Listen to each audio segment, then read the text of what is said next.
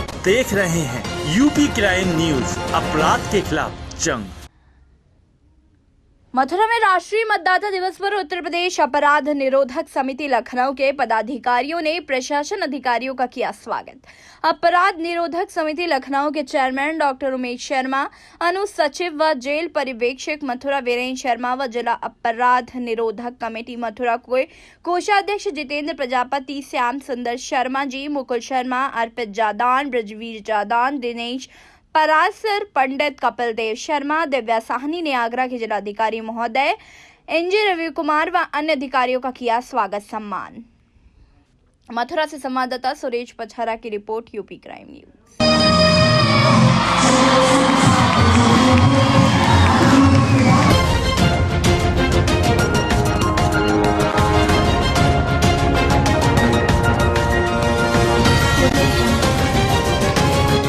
देख रहे हैं यूपी क्राइम न्यूज़ अपराध के खिलाफ जंग।